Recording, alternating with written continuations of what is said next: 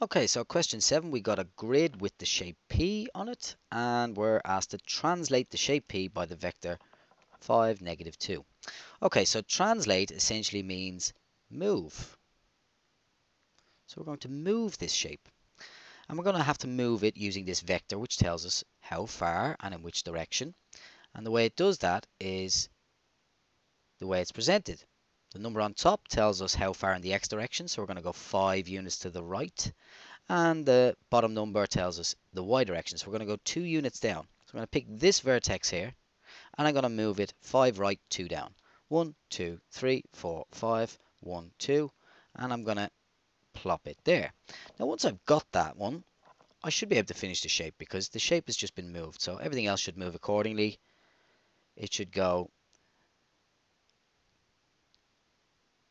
on the grid in the exact same orientation, just in a different position.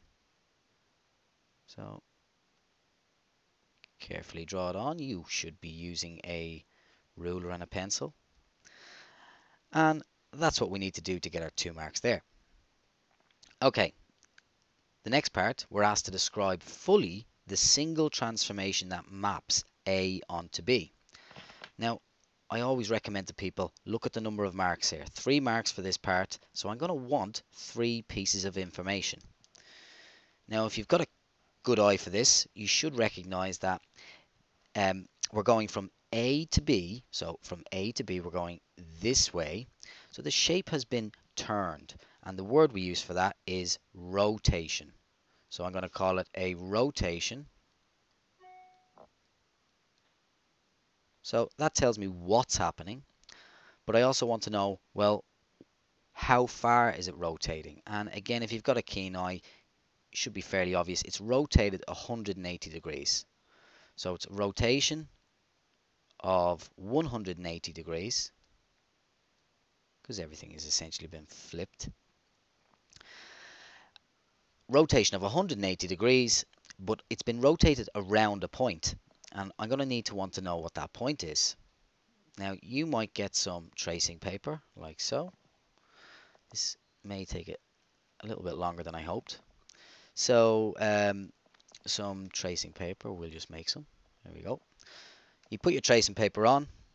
You will guess, if you can't be, be sure, but I'm going to guess here. I'm going to guess that the center is right there. And then what I would do is I would trace the shape. So I'm going to do this really quickly, quick trace. Trace that shape and then I put my pencil on the red dot here, the red dot here, or we call it the blue dot.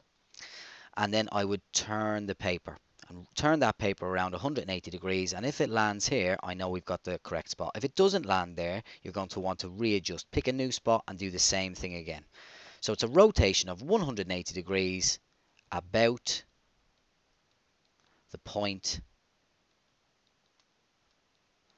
about the point 0 1 0 on the x-axis but 1 on the y-axis